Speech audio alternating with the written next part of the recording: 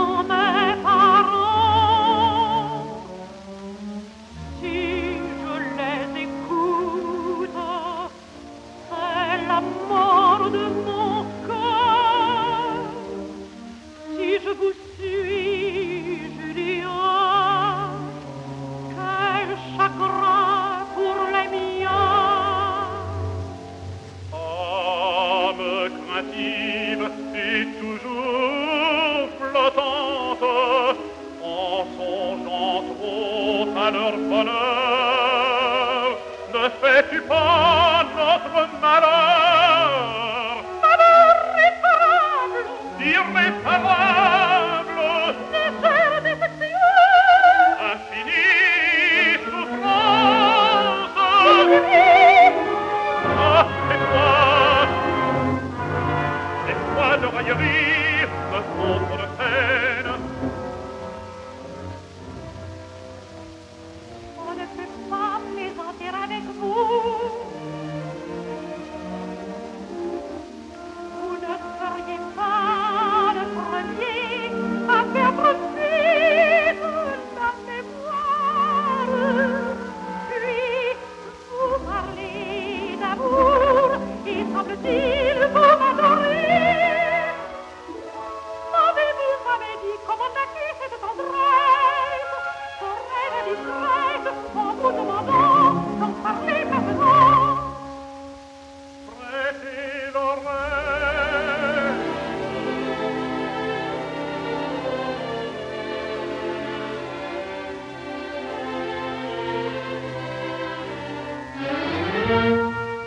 longtemps j'habitais cette chambre sans me douter, hélas, que j'avais pour voisine une enfant aux grands yeux, une vierge des cieux que des parents sévères gardaient comme une prisonnière.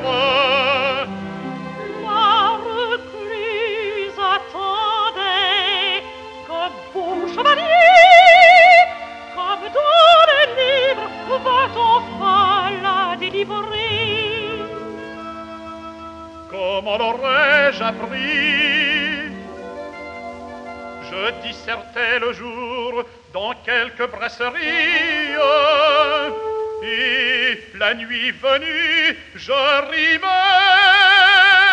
des folies pour la lointaine Ophélie qu'évoquait mon désir, tandis que là, près de moi,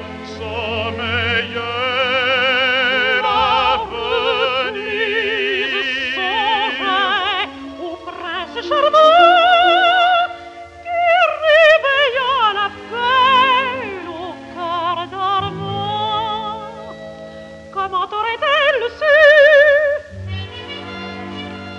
Que son chevalier habitait au premier sous le ciel?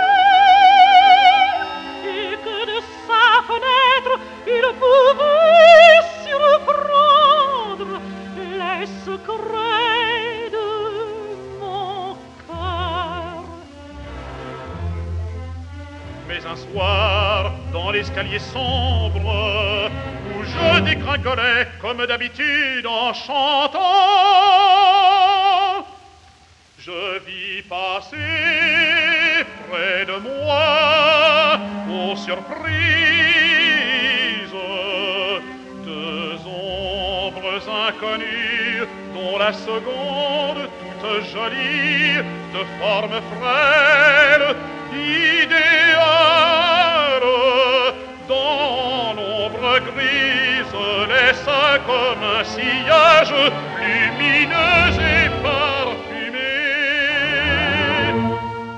Le lendemain, c'était le jour de Pâques. De grand matin, je guettais votre fenêtre. Quelle musique dira l'émerveillement de mes yeux quand tu vas apparaître dans le soleil souriante. Une madone de Vinci ne sourit pas ainsi, non, non, ses sourires mutins ne fleurissent qu'à Paris. Je regardais